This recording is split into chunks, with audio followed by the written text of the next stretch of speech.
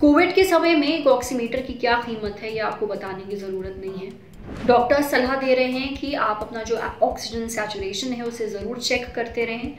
Oxygen saturation मतलब आपके खून में ऑक्सीजन की मात्रा कितनी है। अब ये नापा जाता है एक ऑक्सीमीटर की मदद से। इसे उंगली पर लगाया जाता है और इस पर बनी होती है एक स्क्रीन उस पर एक रीडिंग बनकर आती है, यानी कुछ नंबर कुछ डिजिट्स बनकर आते हैं। आमतौर पर एक हेल्दी इंसान की रीडिंग पचानवे, यानी कि 95 या उससे ऊपर आती है। पर अगर आपको पहले से कोई हेल्थ कंडीशन है तो ये रीडिंग पचानवे से कम भी दिखती है।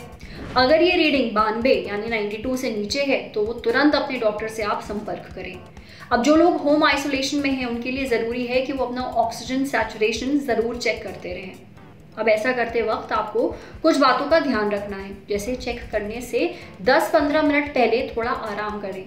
अपना हाथ स्थिर रखें। ऑक्सीमीटर को बीच वाली या फिर पहली उंगली पर लगाएँ। अपने हाथ को अपने छाती पर रखें।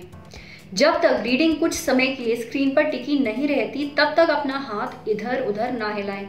एक बार रीडिंग स्थिर हो जाए तो जो नंबर सबसे ज़्यादा देर तक टिका हुआ है स्क्रीन पर, वो नोट डाउन कर लीजिए। ये आपको ऑक्सीजन सैचुरेशन है। एक मिनट तक ऑक्सीमीटर लगा रहने दें और दिन में कम से कम तीन बार ये रीडिंग ज़रूर चेक करते रहें।